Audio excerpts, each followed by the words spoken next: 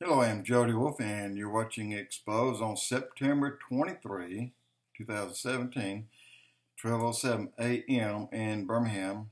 Topic is again, we'll wake up it's whatever time we get up today and go to bed tonight. There are still uh, many signs out there that's going to happen and occur in 2017 and in 2018.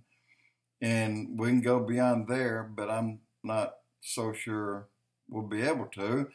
But I'm sure you all have heard of Bill Koenig, K O E N I G. He's White House correspondent. He's been there 17 years. This man keeps track of everything that goes in and out of the White House newsworthy wise. A lot of people simply won't put down the things he'll put down because he put down everything that's relevant to the church.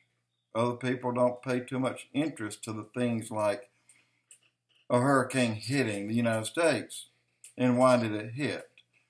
Well, he keeps track of all these things.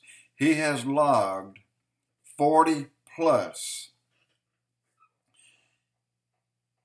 And I'm talking about, well, judgments that's hit the United States due to the Clintons, Obama, and Kerry. Just those three.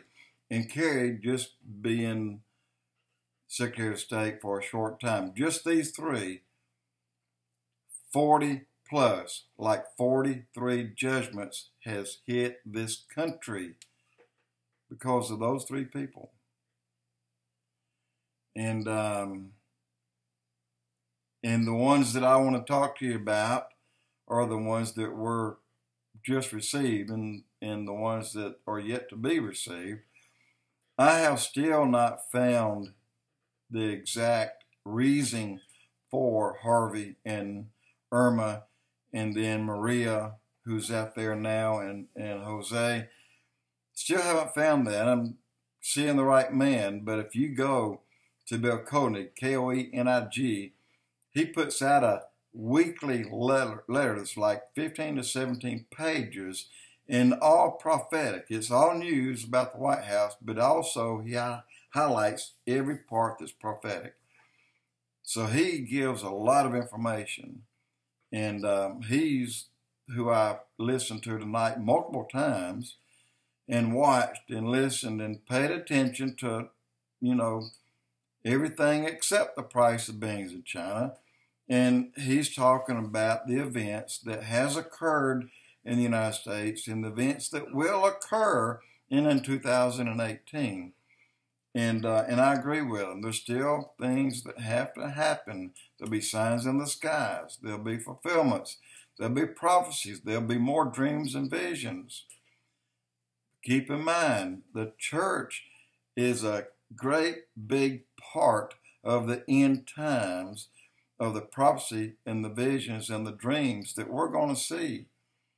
Because the church will be moved before God's full attention is put back on Israel. And when I say full attention, his full attention is on every aspect of every part of this globe and everything out of this globe and in this globe. Don't get me wrong.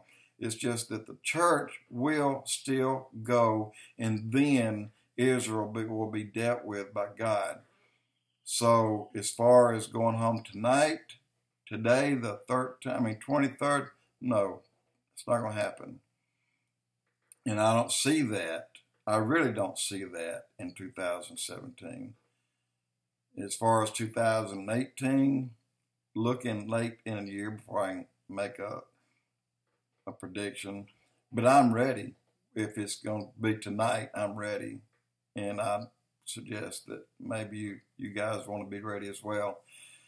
Anyway, um, we're not going home, not tonight. Jody Wolfe, exposed.